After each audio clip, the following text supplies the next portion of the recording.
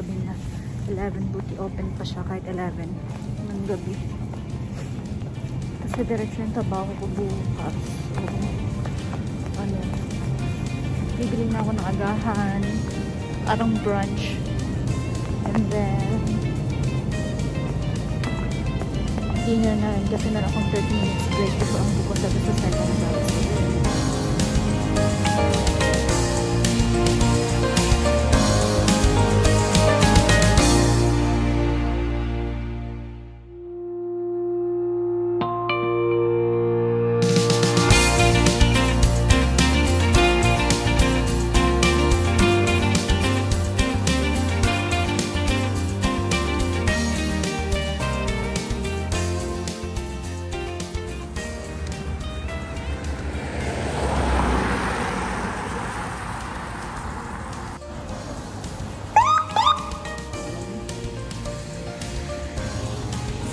Nag-green na din, go na rin ako. Diba? Ganito kasi ang ganda dito. Eh. Pag may ambulance o kaya fire truck, meron silang control sa ano, sa street light. Ay, kaya, ano, dito.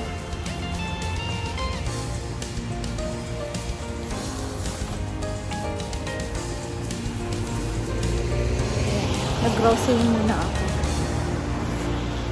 Grocery! Oo, diba? Puno na si bag. Pati si kamay. Tapos ang asa bag is chocolate. Chocolate and Indomie. Indomie is life. Sa mga katulad namin dito sa umaga, di nakakapagluto ng maayos, tama gumising ng maaga kasi kulang sa tulog. Hindi dahil sa trabaho, kundi dahil sa K-drama.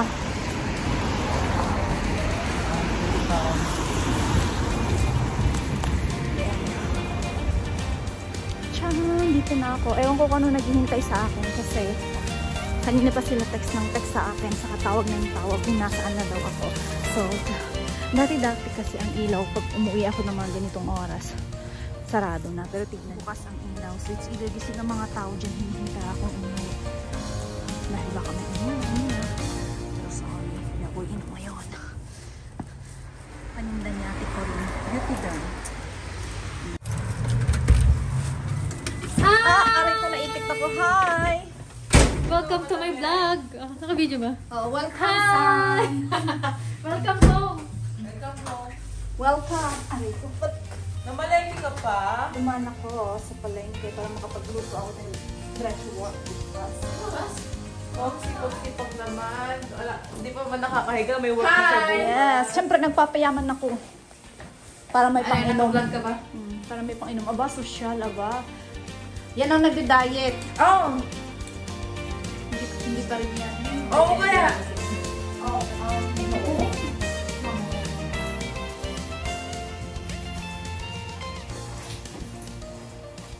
Mabubuhay ba kayo na walang heater? Oo! Ito kaya. Sa kwarto nila malamig. Bakit? Oo naman sa kwarto. Dito din sa malamig. Dito pinakalig ba? Ano kaya luto natin dito? Masarap magluto. Anong luto mo? Luto yun! Luto yun muna kayo! Tara! Hi! Hi guys! So, nandito kami ngayon. Dumating na po si... Kanina pa namin inaantay ang news chef. Ang news ng Julie? 551. Ano na yun? Nagse-celebrate si Carol, kaso nabitin. Ayan, as usual, Sunday. Kaya, ako muna ang bahala sa kusina. Ayan, nagsipagtrabaho na sila. Ako na naman yung mga joke. So, luto-luto para pagdating ng gabi, nakarally na para bilang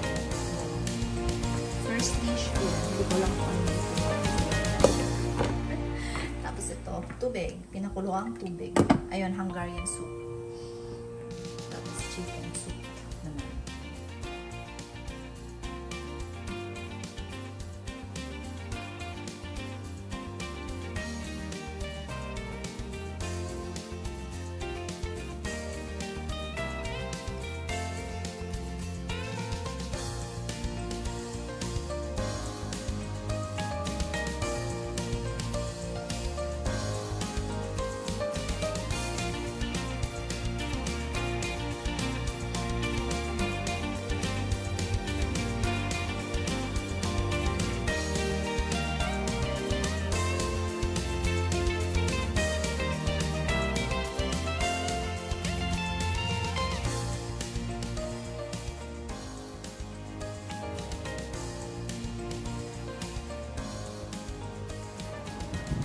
7.30. Tapos ang pasok ko is 8 o'clock. Malamig siya. Wala akong dala. Kasi hindi naman daw ulan. So, lakas ng hangin. Hindi ko alam yung pupuntahan ko kaya maaga ako para may 30 minutes ako magtulakad. Para pag uwi ko, alam ko kung saan yung way. Kasi unang, unang bahay, ay unang first time ko siyang pupuntahan ngayon. Actually, doon nagtatrabaho dati si Ate Corinne pero ayaw na niyang kunin kasi masyado nang late natatapos. E may pasok pa siya ng bukas sa regular job niya. So si Lainey nagtrabaho doon kagabi. So, go, go, go. Buti na lang mga wala mga masyadong dekorasyon. O yan. Malayo pa doon yung lalakarin ko.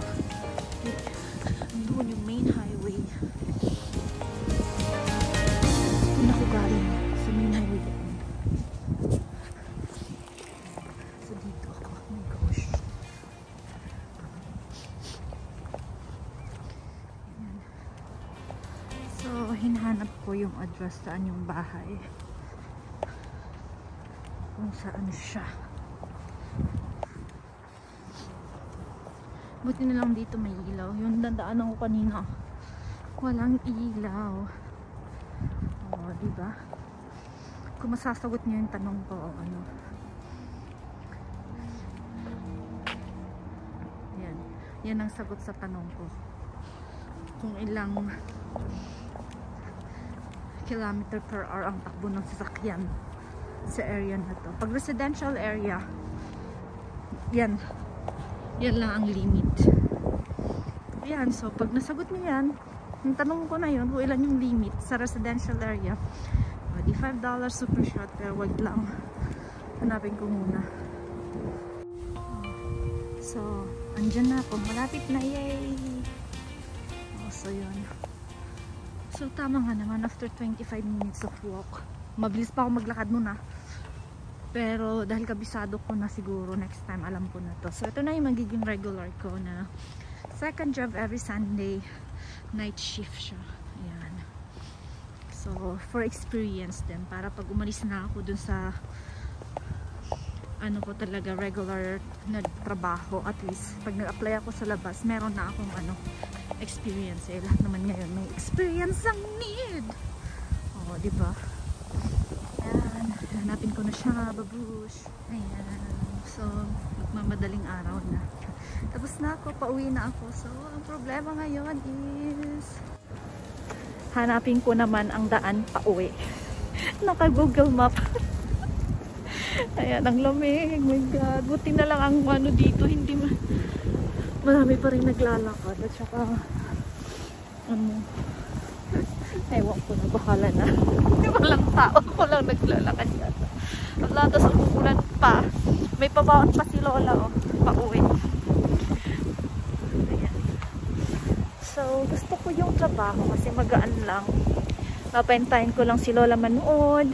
Tapos pag nang kumain, mag-dessert, yun lang. Tapos tutulungan lang siyang makit sa kwarto niya. Pero social ang bahay with elevator. Kaya hindi ako may hirapan.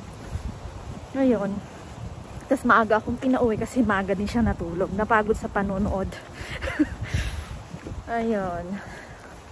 So, good luck sa paglalakad. Sana di mabasa ng ulan. Ayan. So, bye muna. Bye.